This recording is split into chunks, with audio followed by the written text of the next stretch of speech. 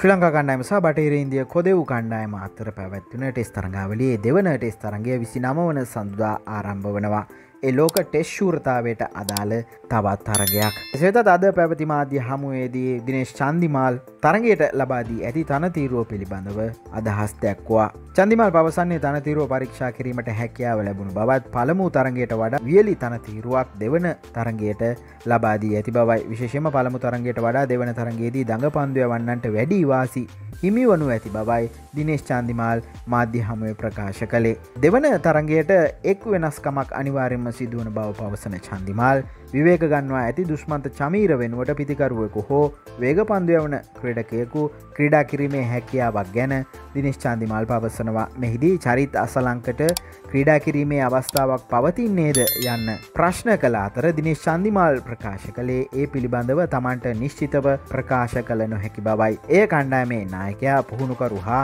තේරීම් කමිටුව එක්ව ගතයුතු තීරණයක් බවයි. හිටපුනායක කඩුරකින ක්‍රඩක දිනේශ් චන්දිමල් මෙම මාධ්‍ය හමුවේදී පවසා සිටියේ. චැනල් එක සබස්ක්‍රයිබ් කරන්න.